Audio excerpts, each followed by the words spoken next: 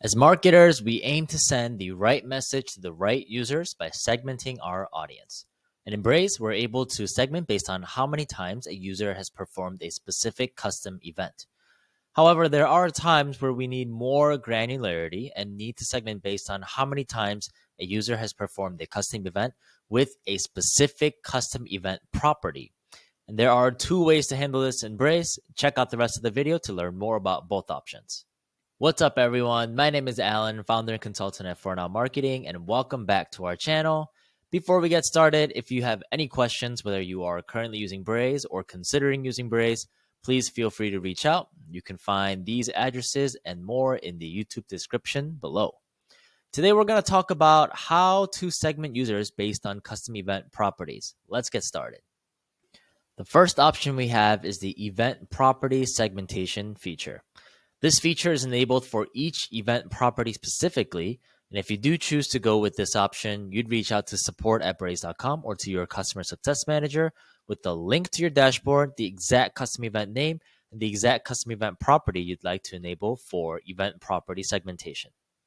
It would be extra helpful if you should send them a screenshot of the custom event page and highlighting exactly which custom event property you're looking to enable for the event property segmentation feature. Typically, custom event properties are fleeting data, which means the property values don't get stored on the user profile. The property values are available for triggers and personalizations, but once that instantaneous moment of the custom event trigger has passed, you won't be able to access the event property value anymore unless you have event property segmentation enabled. Braze will store the event property value in their backend for 30 days after the trigger and that is how we're able to use this feature to segment users based on custom event property values. Notice that there is a time limit of up to 30 days.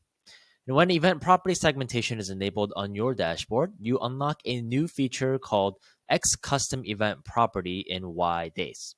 It's this one right here, and you are able to use this in your filters for your segments. And this is very similar to the X custom event in Y days filter with the added field of event properties. Spot the main difference between the two filters when we compare them side by side. So this is the X custom event properties in Y days, and you see that there are some extra fields. And this one is just the normal X custom event in Y days, where we only look at the custom event itself. Now, with this new filter, we can create a segment of users who have performed added item to favorites with event property item category that matches a specific value. Maybe we want to segment for users who added an item to favorites from the sports item category. One data point consideration is that whenever we enable a property for event property segmentation, anytime that custom event is triggered, added item to favorites in our situation, it will incur an additional data point to account for the property item category for our situation. So if, once again, if we enable the item category for event property segmentation, then anytime a user triggers added item to favorites, that will trigger one data point, and an additional data point will be triggered for the property item category for a total of two data points per trigger.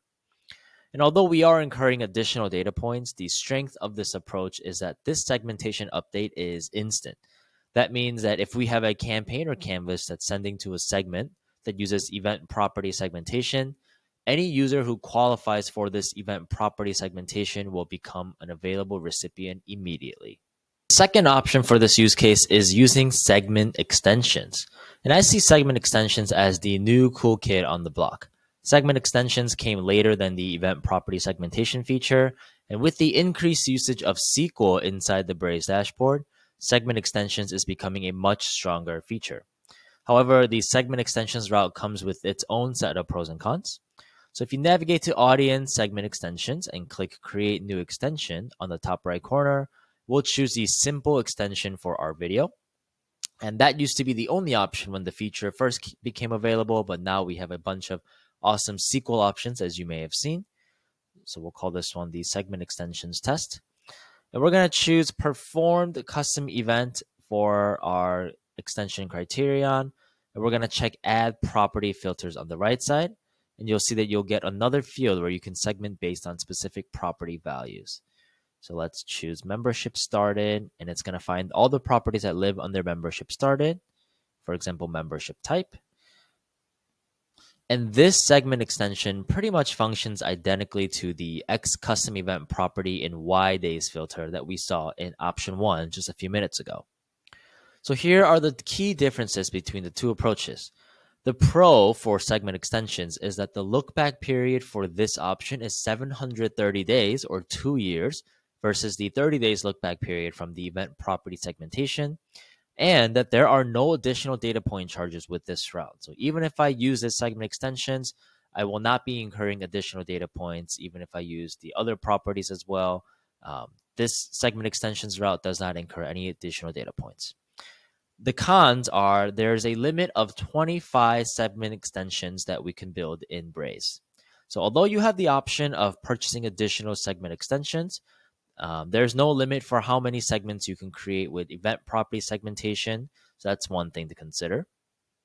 And segment extensions can be regener- regenerated at most once per day, meaning the segment extension will not be updated immediately like event property segmentation does.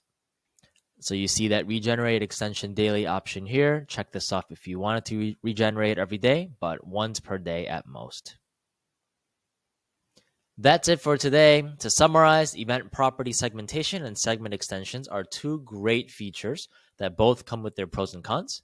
Depending on your use case, you might find that one route is better than the other for your team. As always, if you have any questions, please share them in the comments. We're happy to help. If you learned something from this video, please subscribe for more awesome Braze videos in the future.